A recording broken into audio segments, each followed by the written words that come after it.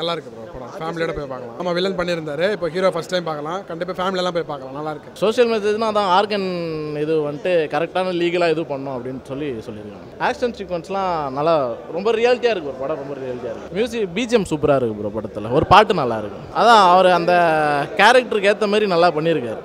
அந்த ஜோஜி ஜார்ஜுக்கு ஈக்குவலாக இந்த இதில் இது பண்ணியிருக்காரு. தமிழ் ஆடியன்ஸ்க்கு கரெக்டாக இருக்குது ப்ரோ படம் சூப்பராக இருக்கு ப்ரோ அண்ணனுக்காக கரெக்டாக பாலா சார் செதுக்கி வச்சிருக்காரு. ஈரவா புதுசாக இருக்குது அவர் நடிச்சிருக்காரு. கதை அதுக்கேற்ற மாதிரி கரெக்டாக இருக்குது ஃபேமிலியோட உட்காந்து எல்லாரும் சூப்பராக பார்க்கலாம். ரொம்ப சூப்பராக பண்ணியிருக்காரு அற்புதமான ஸ்டோரி அற்புதமாக பண்ணியிருக்காரு சூப்பராக இருக்கு எல்லாருமே எல்லா ஆர்டிஸ்ட்டும் அவங்களுடைய கேரக்டர் சூப்பராக பண்ணியிருக்காங்க ஒரு சோஷியல் மெசேஜ் சொல்லியிருக்காங்க ஃபேமிலி ஆடியன்ஸ் பார்க்கணும். முக்கியமாக ஃபேமிலி ஆடியன்ஸ் பார்க்கணும். நல்லா இருக்குங்க. படம் நல்லா இருக்குது எல்லாருமே பார்க்க வேண்டிய படம் தான். ஃபேமிலி ஆடியன்ஸுக்கு நல்ல படமாக இருக்கும். ஆமாங்க. இந்த மெடிக்கல் மாஃபியான்றது எப்படின்றத வந்து கடைசி இருபது நிமிஷத்தில் வந்து இந்த இந்த படத்தில் சொல்லியிருக்காங்க.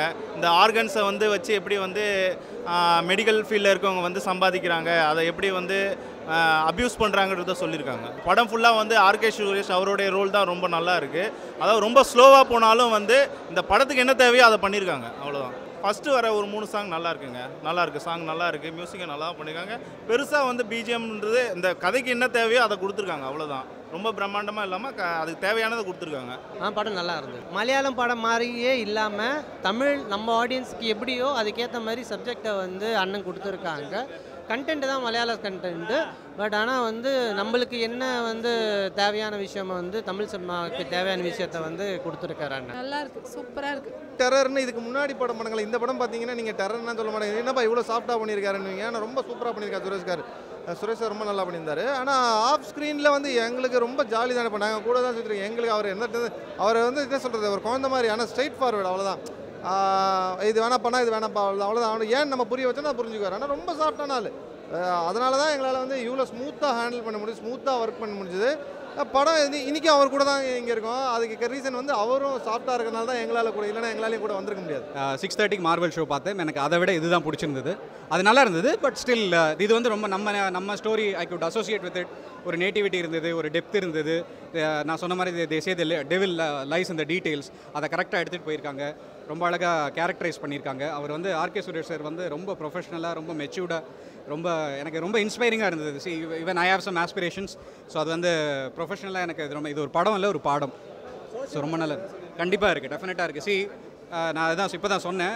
You should always prioritize people's welfare first and only then business and profits later on be it any business or any profession or anything அப்படி இருந்தால் மா நீங்களும் சந்தோஷமாக இருக்கலாம் அடுத்தவங்களும் சந்தோஷமாக இருப்பாங்க. ஒரு மேல் லீட் பண்ண மாதிரியே தெரில எனக்கு அந்த கேரக்டர் அப்படியே எடுத்துகிட்டு போன மாதிரி தான் இருக்குது is is lived himself as the character அதை க கரெக்டாக ஹேண்டில் பண்ணி கரெக்டாக மெச்சூர்டாக ஐ வுட் சே அவர் அந்த இன்டிஜினியஸ் இன்டெ இன்டெலிஜென்ஸ்னு சொல்லுவோம் இன் கார்ப்பரேட் டேர்ம்ஸ் அதை வந்து கரெக்டாக யூஸ் பண்ணியிருக்காரு. டைரக்டர் ரொம்ப நல்லா as portrayed RK sir's character BGM வந்து பெரிய ப்ளஸ் படத்துக்கு. And even Purna and the other other woman other lead அவங்களும் ரொம்ப சின்ன போர்ஷன் வந்தாலும் ரொம்ப நல்லா பண்ணியிருக்காங்க. ஒரு சின்ன ஒரு யங்ஸ்டர்ஸ் பிடிச்ச மாதிரி ஒரு லிப்லாக் இருக்குது பட் ஆனால் அதை எடுத்துகிட்டு போன விதமே வேறு மாதிரி ரொம்ப மெச்சூர்டாக ரொம்ப அழகாக ரொம்ப லவ்லியாக யூல் யூல் சி இட் நீங்கள் அதை பார்த்தா உங்களுக்கு தெரியும். நான் சொல்கிறத விட பார்த்தா உங்களுக்கு புரியும்.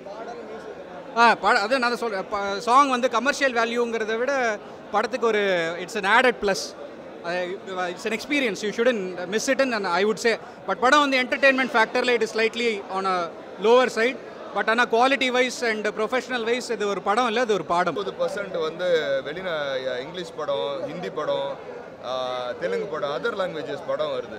அப்போ தமிழ் எந்த ஸ்டேட்லேயும் இந்த மாதிரி கிடையாது. தமிழ்நாட்டில் தான் அந்த மாதிரி ஒரு இஷ்யூ இருக்குது இதை நான் ஒரு ப்ரொடியூசர் கவுன்சில் துணைத் தலைவராக வந்து ரொம்பவே வன்மையாக கண்டிச்சேன். ஒரு தடவை ஒரு ஒரு தடவை இதான் பிரச்சனை. அப்போ நம்ம சின்ன படங்கள் மிட் சைஸ் படங்களுக்கு வந்து ஒரு குறிப்பிட்ட தேட்டர்ஸ் கிடைச்சாதான் அது ஃபீடிங் கிடச்சி மக்கள் மவுத் டாக்கில் வந்து அது பெருசாக்க முடியும். அதுக்கான இடம் வந்து கேரளாவில் இருக்குது கேரளாலலாம் ஒரு படம் இந்த படம் ஃபஸ்ட்டு ஒரு நாலு நாளைக்கு ஒன்றுமே இல்லை. அதுக்கப்புறம் இருபது கோடிக்கு மேலே ஒரு ஷேர் பண்ண படம் அது.